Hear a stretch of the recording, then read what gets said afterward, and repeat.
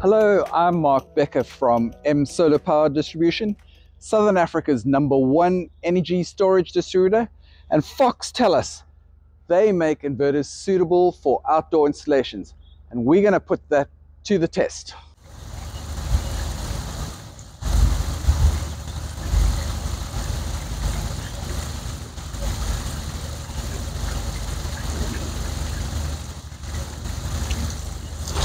Well, I might be needing an umbrella, but your Fox inverter surely doesn't. So if Nick, you can just come in and uh, have a look. You can see that the both the inverter and batteries are working as normal.